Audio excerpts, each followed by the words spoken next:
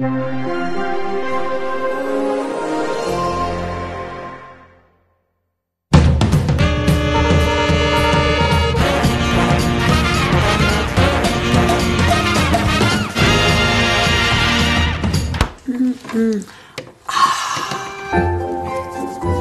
anni, no? Dico. La prima volta che l'ho visto ho pensato, carino è carino, ma simpatico come la pulizia dei denti. Invece, pazzesco. Chissà cosa mi organizzo stasera.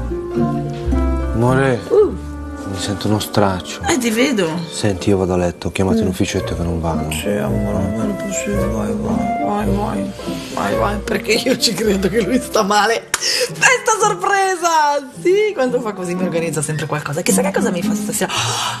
Magari mi organizzo un altro matrimonio. Allora, mia moglie entrerà da quella porta. La riconoscerai sicuro perché è la stessa di 12 anni fa quando hai suonato per noi. Quando arrivi in questo esatto punto, tu parti con la marcia nuziale, capito? Torta nuziale perfetta, identica. Perfetto, è arrivato Don Luigi, che neanche ci riconoscerà, d'altronde ha 93 anni, ma ci ha sposato lui. Ah, ma la barella entrerà nell'ascensore. Beh, romantico sarebbe romantico. Certo mio marito ha le capacità organizzative di un cocker. Probabile che chieda aiuto a qualcuno che di feste ne sa qualcosa più di lui. E qui Deborah farà la lap dance. Ma non so, un palo della lap dance per una festa d'anniversario di matrimonio. Ma per forza, una ricorrenza triste, ci vuole qualcosa che tiri un po' sul morale. Ma non è mica un funerale. No, infatti nella bara invece del cadavere ci sarà uno spogliarellista. Vivo. Vivissimo. Vuoi affittare una bara? Preferisci rubarla? No, tu stai facendo il taccagno per il tuo anniversario di nozze? Ma no, la questione è che volevo una cosa più normale, che ne so, tipo... Eh, una bella tavolata. Ma ci sarà anche questa. E poi sei camerieri in costume sadomaso, no? Che entreranno con questo enorme vassoio d'argento. E sul così. vassoio? Io, nuda. Ma non è che poi Deborah si arrabbia. Va bene, un vassoio anche per Deborah. Oddio, scusate, cari. Per un attimo vi ho immaginato fare da contorno ad Anna nuda. Che brutta immagine. Che poi non è che per organizzare una partita di calcetto ti devi per forza rivolgere a un capo ultra, eh? Puoi farla più semplice. Puoi chiedere una mano anche a qualcuno di più razionale.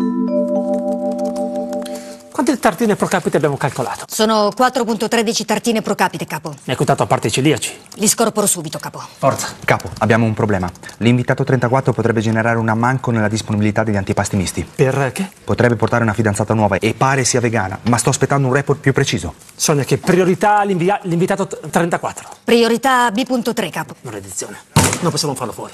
Potremmo cambiare il planning del buffet, spostare l'humus fra gli antipasti e le mozzarella di bufala fra i secondi. Tu sei un genio. Sonia, esegui. E trova la curvatura termodinamica del prosecco. I tratti sul cesaro del ghiaccio mi preoccupano. Sarebbe una festa terribile. Se qualcuno mangiasse due tartine in più, probabilmente crollerebbe Wall Street. Che poi, in fondo, è solo il nostro anniversario di matrimonio e magari non gliene frega niente a nessuno. Per favore, non vuole venire nessuno alla festa sorpresa per il nostro anniversario. Vieni almeno tu. Non ci penso neanche. Ti prego. No, Ti supplico. no. Ti pago. Fammici pensare. No. Vabbè, grazie mamma. È sempre un piacere contare su di te.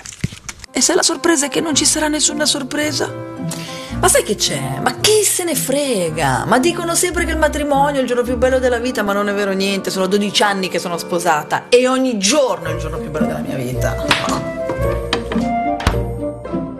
Ciao. Vediamo il malatino, eh? Ah, 37,1.